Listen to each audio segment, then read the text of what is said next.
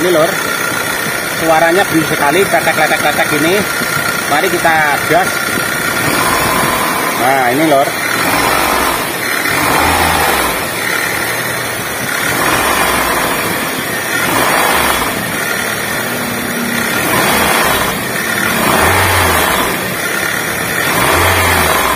Suara inilah yang menjadi penyebab suara mesin jadi berisik Assalamualaikum warahmatullahi wabarakatuh.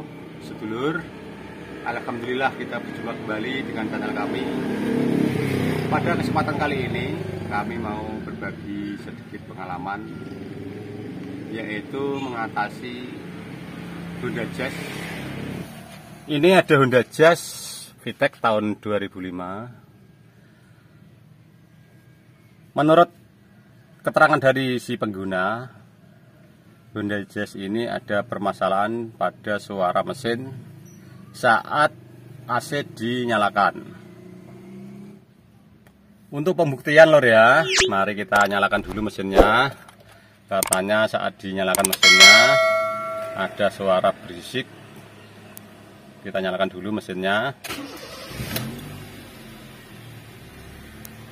Ini lor, saat mesin dinyalakan tidak ada suara apa-apa atau suaranya bagus normal saja. Tapi menurut keterangan dari si pengguna mesin bersuara berisik saat AC dinyalakan. Mari kita nyalakan AC nya nah itu lor ya terdengar ya ya. Ada suara berisik yang bikin tidak nyaman untuk berkendara. Mari lur kita keluar, kita cari permasalahannya.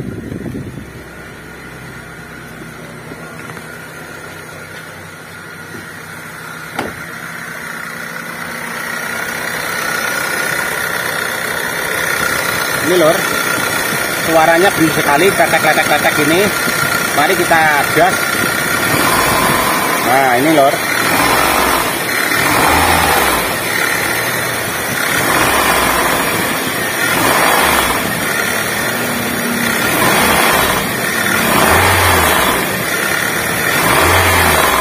suara inilah yang menjadi penyebab suara mesin jadi berisik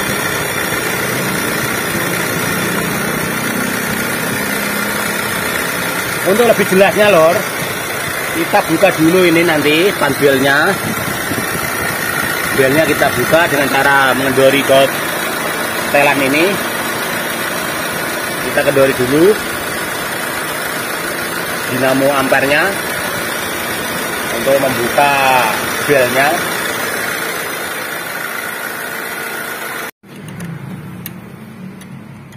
Sebelum membuka belnya lor ya haruslah mesin kita matikan dulu.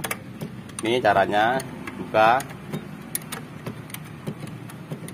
Dikendorkan dulu ke penyetel belnya. Setelah kendor maka kita baru bisa membuka bel dan kita cari apa permasalahannya. Mungkin ini dari suara bearing perkiraan kemungkinan bearing tensionernya atau bearing kompresor AC yang bermasalah. Dalam proses membuka bel lor ya alangkah baiknya kita membuka roda biar kita lebih bebas untuk mengambil belnya dan sekaligus bisa menganalisa permasalahannya. Langsung saja lur karena tadi masalahnya di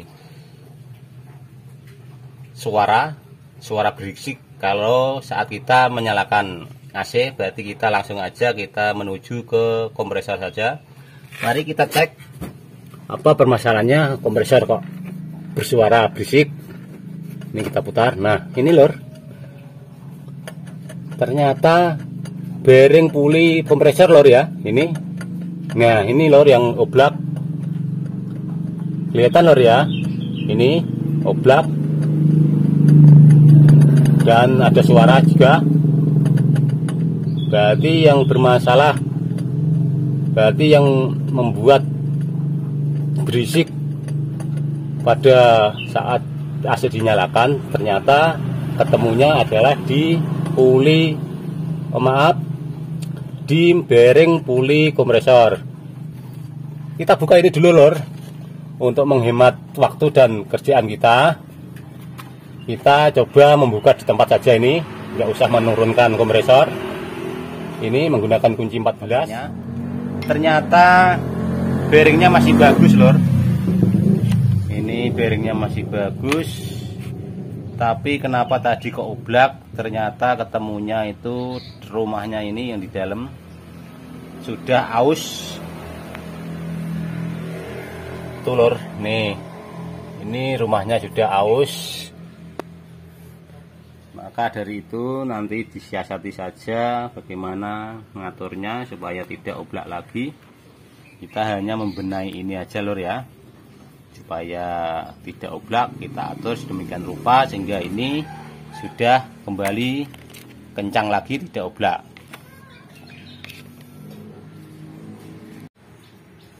Koper klaknya sudah terpasang. Ini sudah bagus tidak oblak lagi. Kami siasati dengan menggunakan ganjal seng. Ini. Seng. Apa itu namanya larutan penyegar. Kita bantu dengan menggunakan lem besi. Ini karena yang punya ini buru-buru mau digunakan ini kendaraan terpaksa kita siasati dengan menggunakan lem saja. Selanjutnya adalah pemasangan disklatnya. Ini tutup yang paling depan.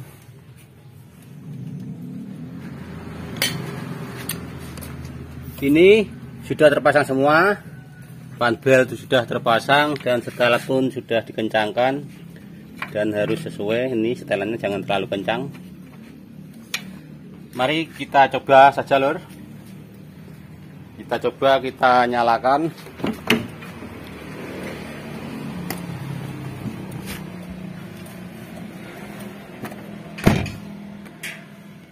mari kita coba lor ya dengan mengucapkan bismillahirrahmanirrahim. Kita nyalakan mesinnya.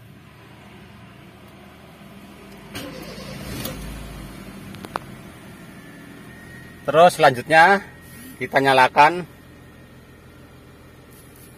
AC nya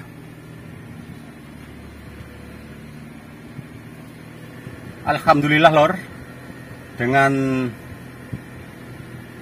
membenahi rumah bearing koper klatnya sudah teratasi ini sudah normal kembali kita lihat ke depan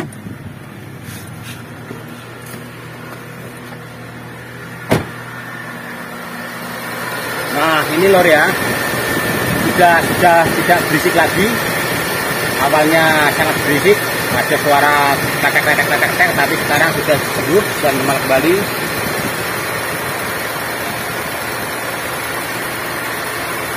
Demikianlah lor ulasan dari kami, semoga bermanfaat dan bisa membantu. Apabila sedulur menemui permasalahan yang seperti tadi. Dari kami, kami sampaikan banyak terima kasih.